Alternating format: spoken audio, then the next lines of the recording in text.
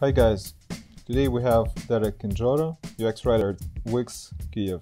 Hi Derek. Hey Gene, uh, nice to be here with you today. So we're both working for Wix and we had an experience of working together for half a year.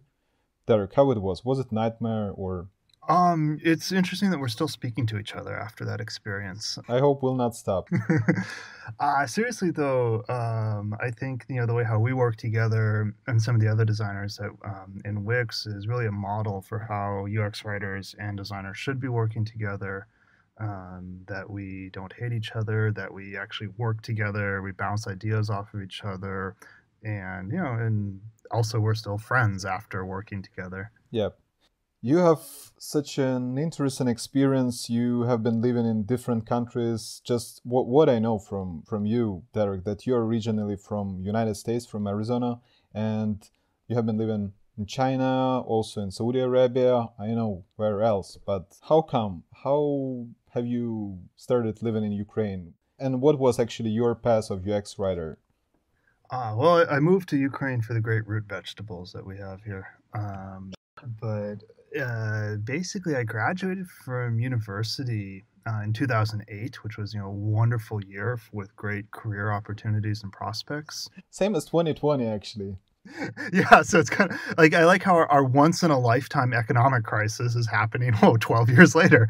Um, so um, but basically, I was I actually my training was in to be an English teacher, teaching English as a foreign language. Um, problem is, you know, there weren't a lot of great jobs, so I said, okay, let me try something cool.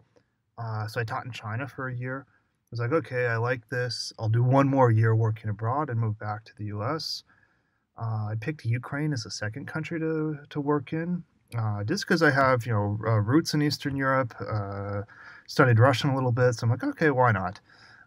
And anyway, I liked it so much. Uh, you know, great root vegetables here and all that good stuff. Um, friendly people, smiles, all great weather.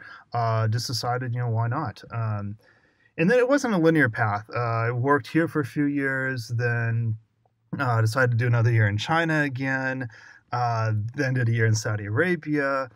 And then when I came back to Ukraine, which I think is kind of now like the sort of final, I'm stuck here forever coming back I switched to, uh, from teaching to writing. So this is this is great actually. The good choice because, as you said, people are very welcoming and very smiling all the time here. So I can understand you. It makes total sense. And what are you doing currently, and what kind of responsibilities do you have at Wix?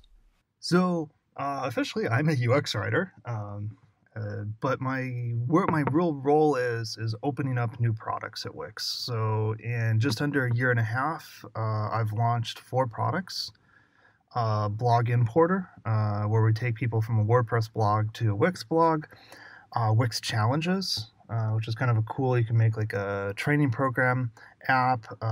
Wix groups, which we also opened up. That's what you know. Eugene and I work together on. Um, and then my latest one is we're opening up a new analytics uh, dashboard. And that's what I actually just launched this week. Well, that sounds cool. And um, what do you see as the main skill set for UX writer? Yeah, the thing is, no one really understands what we do. Um, and I think some people think, oh, okay, well, you just you know add articles and make things grammatically correct. Um, in the same way, I think people think of designers like, well, it can't be that hard. You just you know have a sketch library, you add a button there. That's not hard, is it?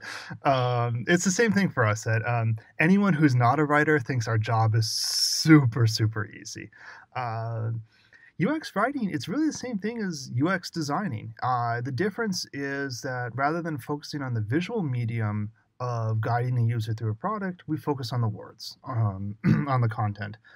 And so it, it's different at different companies, um, but you can have this sort of very high level strategy as UX writer of, you know, how are we going to communicate how this product works? Um, you can decide, are we going to use interface text?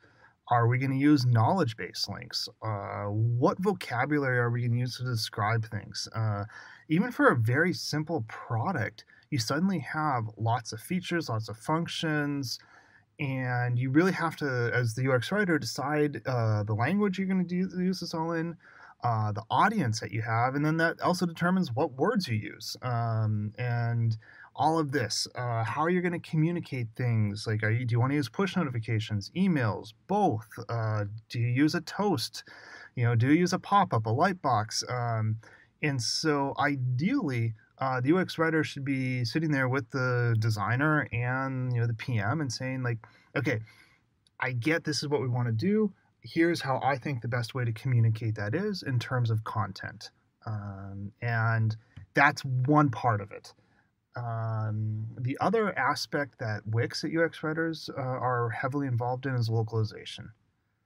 Is that um, in a lot of ways I end up do, being like the coordinator for um, 20 plus translators that create um, a localized version of our products. And so uh, I mean, generally speaking, UX writing because it's such a wide uh, field right now. There's not a lot of like uh, defined things. It can you know you can really specialize in whatever you want. Um, you can yep. really be into the, the, the user experience that aspect of it. Uh, you can be more into the technical stuff like uh, how to make that make it actually work. Uh, the nuances of playing around with different types of spacing, for example. Um, you know, using you know little things that are almost like uh, on the borderline of front end development, or you can also be really into the localization thing um, and making sure that you know your text works in you know multiple languages. That sounds reasonable. And what about the ideal process between UX designer and UX writer? How do you see it? Uh, ideally, um, the product manager tells the developer, they put it into production, and then the designer and I accidentally notice it in production, and then we decide to add text and fix the design. This is cool, but let's think about ideal picture. Uh, so, you know, ideally, um, you know, in the sort of ideal world, um, the product manager um, kind of gives a little bit of inspiration of where we're going.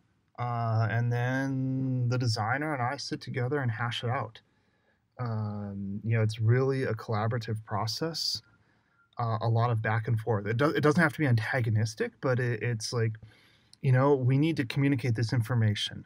Uh, I think this is really important to communicate. And then maybe the designer will be like, mm, but we only have this much space. Or, um, you know, the designer can really uh, add a lot of ideas. Like, well, why don't you put it, you know, in this type of, you know, presentation? It can be in a uh, modal, it can be in a toast.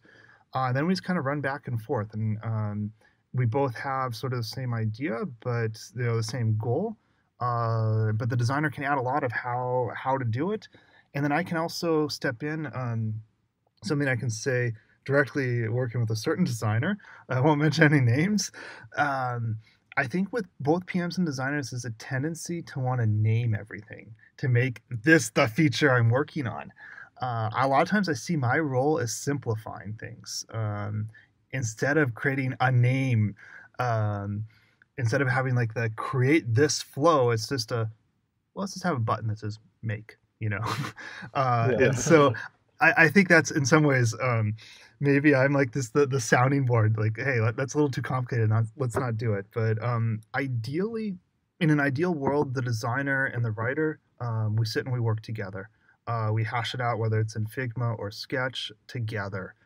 Um, unfortunately, that doesn't happen at a lot of companies. Um, a lot of companies, um, the designer just puts lorem ipsum in there uh, sends it off in Zeplin, and then says, you know, the writer, oh yeah, just add this later. Um, and you can really see cases where that happens. Like it doesn't, it just doesn't look nice. You can tell the text was an afterthought. If talking about your specific field, which top three skills you see as the most important for UX writer? You know, like uh, the canonical answer is supposed to be that you're a good writer. Um, ironically, I would say that's not even anywhere close to the top skill. Um, what I find uh, is really helpful to me is um, the ability to kind of step back and critically think about something. Um, in the sense that I can look at this and go, eh, no, that ain't gonna work. Or to really look at something and pretend like, well, I don't have to pretend very hard, but like, I'm like, oh, I'm a complete idiot. I don't understand how this works. And then try to uh, make something that's idiot proof that, you know, anyone can use. Um, and once you kind of have that mindset, it's not hard then to write the text that you actually need. Uh, the other thing I'd say, organization is super critical because in most cases, UX writers have a bunch of irons in the fire. Uh, you have things going on all over, and so the ability to really kind of keep that, um, you know, all together and not lose it um, is really, really critical. Um, and you know, the then I guess you know the the other thing at you know the very bottom is like you know being a good writer in the sense of being able to creatively um, tell something. But this is a it's a dangerous thing this creativity because I think some products go overboard on the creativity side. Um, you know sometimes when things are too fancy, too well written, like too um, it, like you know i just want to use the product i want the product to not get in my way it's a tool uh, imagine like every time i'm using a hammer or a saw like it comes out and tells me how cool it is like that's annoying uh, and i think sometimes so maybe instead of uh, being a good writer i'd put in my uh, third my third spot would be hum- humility is to know to not put yourself too much uh, in the product to know that yeah. hey, keep your professional distance, uh, to not like be super cool. And this is, I think, especially important um, when you're dealing with products that are designed for user of users. So, you know, a lot of companies, you, the company, are not talking directly to your customers. You're actually creating a platform for businesses to use to talk to their customers. So you have to be super careful uh, to not try to talk in a very, you know, uh, I don't know, loud voice. You have to let uh, stay out of the way, stay neutral, uh, so your customers that are businesses can put their own voice in. Yeah, so it should be even a bit neutral, right? Because you never know which case will be which kind of person will be using this platform, and the, this is just should be a message which could be universal at some point. Yeah, absolutely. So, I mean, imagine, you know, let's say you have an e commerce platform. Um, I just picked that because that's something I've never worked on, uh, just yeah. so to stay neutral. But, you know, you could be someone that's selling flowers. Let's say you're even selling selling flowers on an e-commerce platform. Uh, you could be, you know, someone could be buying flowers because it's, you know, their best friend's birthday, uh, or they could be buying flowers because it's a funeral. Um, and so you have to be very careful uh, to have your messaging uh, work in both cases. Do you have someone on Twitter or elsewhere whom you follow and who inspires you in your field? You know, again, I'm going to give a sort of unorthodox, uh, non canonical answer. Um, for inspiration, I think it's super important to not follow other people in the field. Um, because you get this echo chamber effect you get um, you end up just copying other people you end up just everything sounds the same um, i guess now i might be stepping on designer toes but you know every new product every new silicon valley startup i open up their webpage i can't even tell them apart. They're all the same design you know they're all the same and so um, on the one hand I, that's why i think it's really important to actually make sure that your inspiration is outside of the tech bubble. Um, and so just a smattering of journalists that have nothing to do with tech uh, you know read some essays about science about like i actually really enjoy philosophy literature uh, and then when i do that like i make a point like wow this sentence was really well written. Um, wow this and so it could be something completely unrelated um, you know like I, I just like reading long form journalism and then really looking um, you know if i want to analyze it like how is this flow? Like you know even um, you know people probably think i'm crazy. I'll sit and read something out loud because i really like how, the way how the words flow and the sort of things. And i'm like okay when i write uh, even if it's one sentence in an interface you know i need to make sure it has a nice melody a nice flow.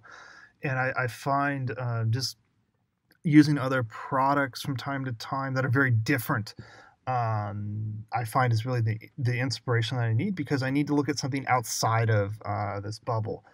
Specific and part of the reason why that's true is that there's just not a lot out there on UX writing. It's so new. Um, it's like a completely new profession, and a lot of the stuff on the uh, on the internet now is like designed for absolute beginners, like someone who like uh, woke up yesterday and you know, oh, I want to be a UX writer. You know, I, have been doing this for four years, so a lot of that type of stuff is kind of like okay, not as relevant. Uh, so that's why also for people looking, um, honestly, designers like I think are the better inspiration for writers that they need to because you need to be thinking like a designer thinking about um, how your words work as a design. So you were saying that the um, major part of inspiration you take from different sources and it, it makes totally sense. Absolutely because like for example what happens i see this at tech companies all the time we're like oh we're going to make a new chat app. So oh let me look at what whatsapp does let me look at messenger let me look at slack and i'm just going to copy whatever they do. Uh, and I, I you know we don't have to do that. Like i, I think we can, let's be creative. Let's start from scratch but do it in a good way, not just not be random and make it, you know, completely, you know, new things for the sake of making new, but like find some pain points, rethink them, and not be slavish and like, oh well, this other company did it, so we have to do it too. Yep. Um, and I'd even add on top of that, um, I see this happen a lot with UX writing. Is people will take like Google or Facebook as an example um, and say, oh, okay, well, they did that, therefore we have to do it too. But a lot of the success that Google and Facebook have, it's from you know the network effect. It's not necessarily because of good UX decisions. You know, when you already have a billion users, you can release a terribly designed product, um, and it's still popular. Uh, and so that's why I think you know if you're not Google or Facebook, um, it's better to you know really like let's launch let's launch a really good product we can win on ux if talking more about inspiration did you have any kind of book or article or something that you read recently and impressed you a lot? Um recently i stumbled across an older book but i read it recently. It's called the laws of simplicity. Um, it's kind of canonical in design you know speak, but um, it was you know I just you know I read through it and you know it's not very long and you, know, you can read through it in an afternoon. Um, but it you know really kind of forces you when you read through it like forces you to think about how can you simplify things and i really think that's the core job of ux writer is to take something complex make it simple um, so really you know would recommend that any of the standard books on writing, um, you know, there's a lot out there. Um, I mean, they all say the same thing use shorter sentences, use simple words. Um, you know, one thing I saw floating around Twitter was, you know, uh, every place you would use a comma, use a period instead. Um, you know, and that sort of forces you, okay, one thought per sentence. Um, don't use you know insane words that you know you'd only use like in an SAT essay or something. Um, to the point, you know, in English is very easy. to Use words, you know, with a Germanic origin rather than a Romance origin. Uh, you know, so yeah, just just keep it simple. Um, and I think that's my inspiration. Yeah, so keep it simple and short. Yeah, but um, there's also the caveat on that. Like, um, don't simplify um, beyond what's possible to simplify. There are complex things. There are really, really complex flows, um, and don't try to artificially simplify them. Uh, you know, don't also go from the point of view that oh, my users are stupid. I need to put one word here only. No, give them enough information that they need, but not not more than what they need, not less than what they need. The question related to cultural differences. How long is it since you are living in Ukraine? So, you know, I've been here on and off for 10 years. So basically, I came here 10 years ago. Um, in the last 10 years, I think I spent three of them not in Ukraine, but you know, seven here, basically. Yeah. So, how can you compare your experience? Because it will be really cool to hear your your impressions as you're originally from western part of US and you you lived in different countries and how was it like communication with people from Eastern Europe and etc. We even have a joke with Derek when we see each other at the office in the morning. We can start either like uh, say hi in English or like in Ukrainian or Russian. So there will be different response because like if talking in English, it will be oh hi how are you? Yeah, I I'm good. Yeah, I'm good too. So but if talking any kind of Slavic language, Eastern European language, you should uh, say, "Oh, damn, everything is bad." Yeah, and don't ask back. So, what what is your experience living in Ukraine? You know, like, um, I'm sorry to disappoint, but um, Ukraine, um, I would say, Ukraine today in 2020 in many ways is closer to a sort of standard European, or maybe even Amer- North American, you know, lifestyle than Ukraine of 2010 was. So if that makes sense, so um, there's more difference now between Ukraine of 2010 to Ukraine of 2020 than there is between, say, Ukraine of 2020 to you know my lifestyle in the U.S. Uh, and that's been one of, I think one of the interesting things is how quickly things have changed here. And maybe that's one of the things that I really like about living here is um, that, um, of course, as I say, this is massive social change going on in the U.S. right now. Um, hopefully, social change for the good. Um, but you know, I took part of you know the whole revolution here. Was you know part on Maidan and all of that. Um, and so I think that's one of the things I like about Ukraine. In many ways, you know, there's this sort of youth energy here. A lot of young people want to make things better and change things. Um, you know, I know a lot of people that are really into you know various social causes and you know involved with working different NGOs and whatnot. Um, and that's just something I don't necessarily see in the U.S. Like the um, the activism there is a little different. Most people instead, it's just like okay, you know, I want to, you know, get a nice job, move out to my little suburb, you know, drive an hour and a half into the city for work every day, uh, and all that. Whereas, like, I know here, I just I like this more European lifestyle. Uh, part of it is, you know, I have my roots. You know, my, my grandparents are from Poland, so it's like this isn't um, radically different for me. I think that's kind of why I actually feel at home here. You know, I don't really plan to leave. That um, by and large, especially in Kiev, like there's really is a very sort of comfortable lifestyle. Um, I and other I'm trying to think of other cultural differences. Um, I don't know, like I just uh, I guess I just like it here and don't really see like anything that's um, terrible or awful. So um, yeah, but but I still have a tricky question about is there something that pisses you off? Not necessarily like being now in Ukraine, but like in general in society in the world or something? Well, I mean, there are so many obvious answers to this right now. I mean, um, obviously, right now, when I look at what's going on in the U.S., um, you know, the massive Black Lives Matter um, protests. I mean, it's so easy. I mean, that's the obvious thing. What pisses me off is systemic racism right now. That's you know really you know ruining a lot of lives. Um, the fact that a thousand people are dying a day in the U.S. and nothing's being done about coronavirus. Um, you know, these are the obvious things. So I, I, mean, let me just set those aside because I mean, you know, come on. I mean, we all agree on that.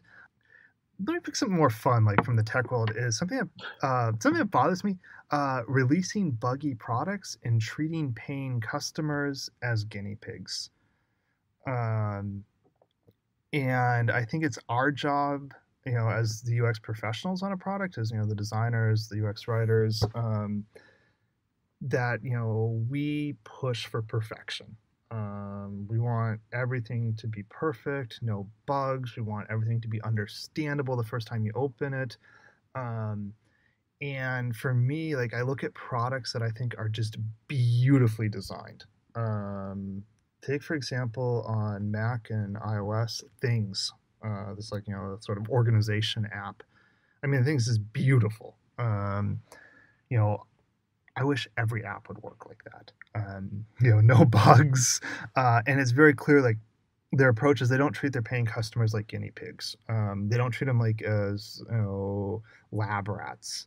Whereas then you look at some of the big tech, tech companies, you know, Google, Facebook, you know, they're constantly running A/B tests on people. They're constantly, uh, they're releasing buggy software. Um, you know, even companies that um, you know should know better, like okay, the latest version, um, the latest uh, update to iOS has a ton of big bugs in it. Um, and it's like, well, wait a minute, I paid how much for my iPhone, and it has a buggy OS. Um, and I, you know, on the other hand, I see the tension. I, I think maybe it's you know the role of the PM because you know if it, if it were you and me doing things, nothing would ever be released because we it'd have to be perfect. And so we'd spend you know a year releasing one screen because it has to be perfect. Um, so obviously we need that tension that the pms are saying okay giddy up. Let's we, we got to release it. Um, otherwise you know there's you know we just would never do anything because you know this perfectionism would set in um, but on the other hand like when you look at um, companies that really make a point that anything that goes out to market is perfect um, and has a lot of quality. I think that's um, so. If I put it down to, in one word, um, lack of quality and uh, not paying attention to details. Because uh, I think so many things in the world uh, would get better if people to slow down, really dug into the details, uh, and did their best work. Yep, makes total sense.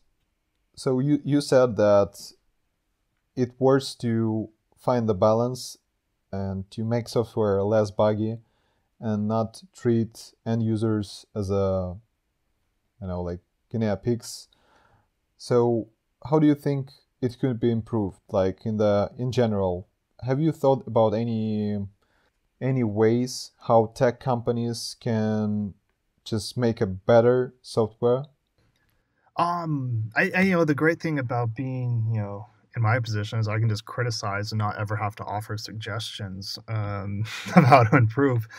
Um, you know, I think it comes down to us as professionals in the field to make sure that we're always doing our best work.